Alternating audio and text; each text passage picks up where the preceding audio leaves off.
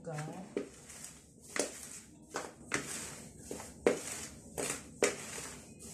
Paghaluin lang. Tapos, ito yung baking powder. Baking powder.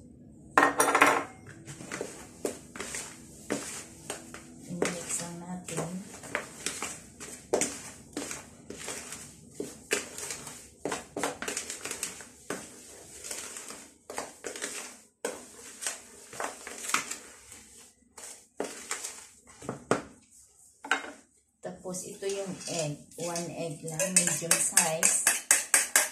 Ibibit natin. Tapos ihalo natin dito sa na-mix natin na dry ingredients. Ito lang.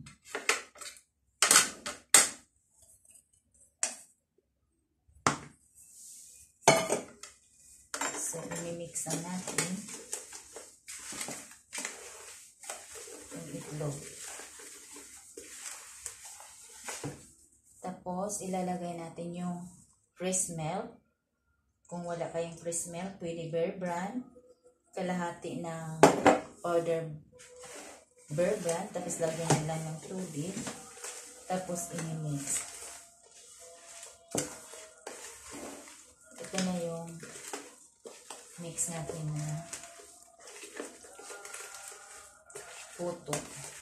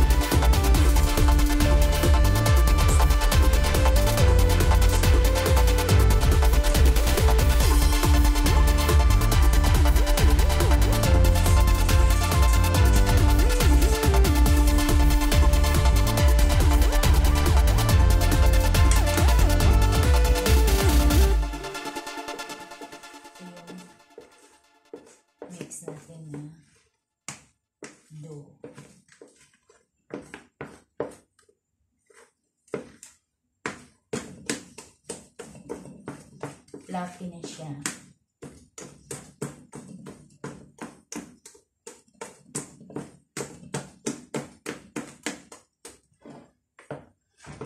Umalsa na siya. So, ganito lang lalagay natin sa molder.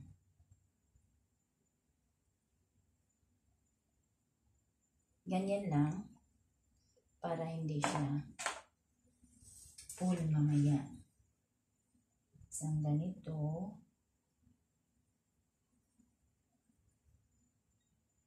Kalahati siya.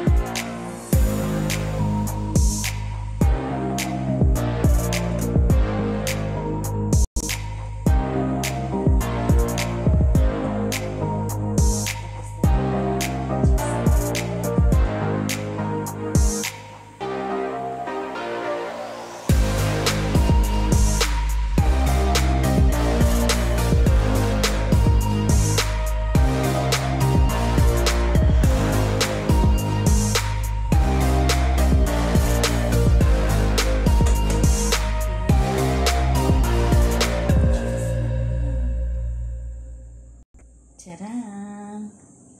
Ito na yung puto cheese. Try natin. Ito pag tasting natin, pag wala nang dumidikit sa, sa stick, it means luto na siya. Ito yung puto cheese. Fresh from Emisar kitchen. Kunin na natin yung ito.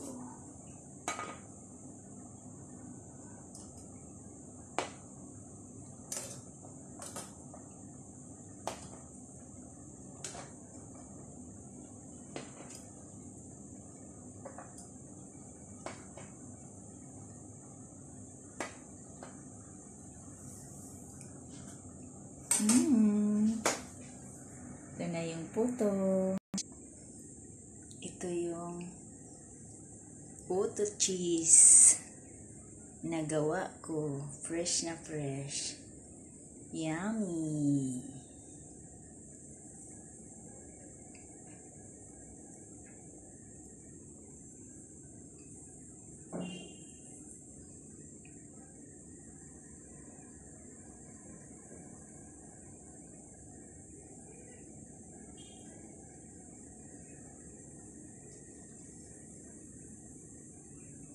Sarap.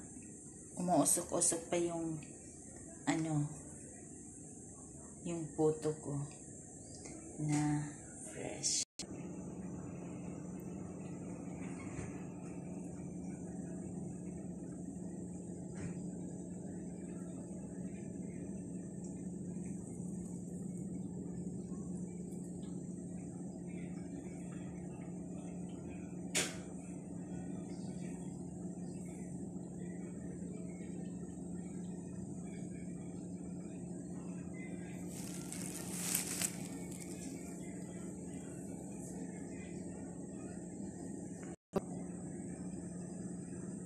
puto ko. Ang sarap. Masarap na puto. Puto. I will run, I will climb, I will soar. I'm undefeated.